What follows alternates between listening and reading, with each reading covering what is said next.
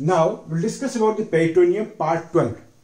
In this part we'll discuss about the peritoneal fossae or the recesses. These are clinically important recesses. Sometimes internal hernia herniations takes place through these recesses. One uh, recess is the uh, lesser sac which is largest recess. Uh, lesser sac will be discussed uh, further. And now we'll discuss about the duodenal recess. This is duodenum first part second part third part. This is first part second part. This is third part. This is fourth part. This is duodenojejunal junction. In relation to the duodenum this is fourth part of the duodenum. This is first, second, third. This is fourth part. Here one recess lies. Direction of which is on right side. This is paraduodenal recess. This is para duodenal recess. One important thing, it this recess opens on the uh, right side and one vein. This is inferior mesenteric vein. This is inferior mesenteric vein lies along the anterior margin of this opening. And the recess. Here is superior duodenal recess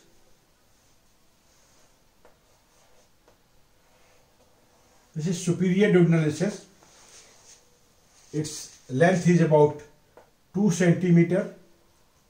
Or its depth is about 2 centimeter. Direction is it opens downward. And here is superior uh, inferior duodenal recess. Its depth is about 3 centimeter. It's about 2 centimeter. And it lies at level of L2 vertebra. It lies at level of L3 vertebra.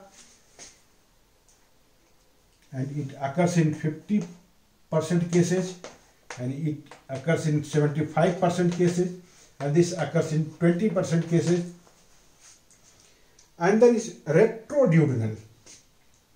Here it lies retroduodenal. This is retroduodenal. Length of this retroduodenal is varies. It may be 6 to 8 centimeter and it opens towards the left side. And then and it is uh, very rarely present and then is here. It is about 3 centimeter length. And this is project at the junction of duodenum and jejunum. That's why it is known as duodenojejunal this is duodeno jejunal recess.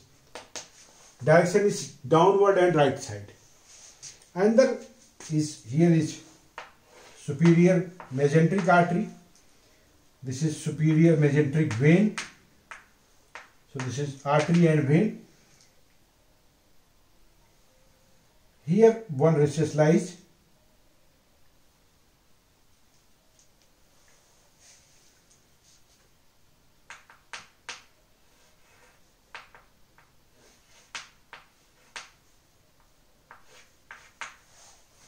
This recess is known as mesenterico-parietal recess. This is mesenterico-parietal recess.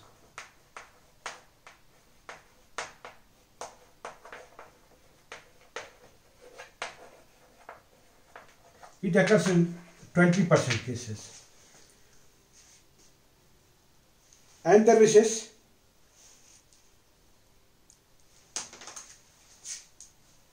in relation to cecum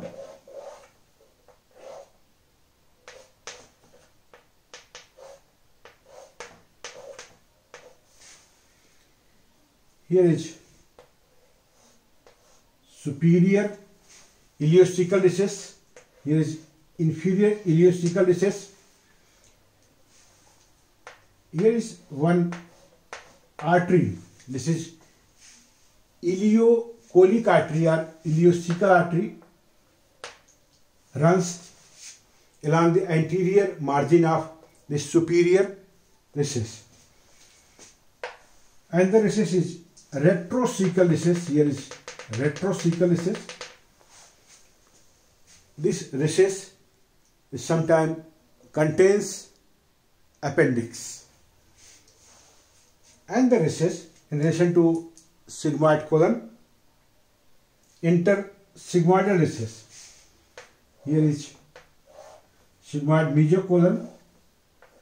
This is sigmoid colon. This is mesentery and sigmoid mesocolon. Sigmoid mesocolon. Here is position of ureter. This is left ureter. This is ureter. Sometimes here is one recess. This is intersigmoidal recess. Intersigmoid recess. This is clinically important. Internal hernia may occurs through this recess. A loop of intestine may passes through this. So this is all about the peritoneal recess.